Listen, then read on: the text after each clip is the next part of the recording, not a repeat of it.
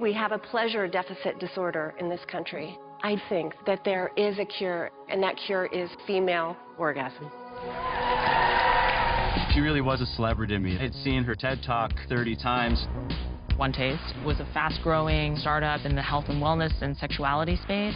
It was all about exploring orgasm, exploring pleasure. I saw a demo of OM. That night, the finger found spot. The Bay Area is a place where people are going to be attracted to and open to that idea. As a woman, if I have to go through my life not enjoying sex, what's the point?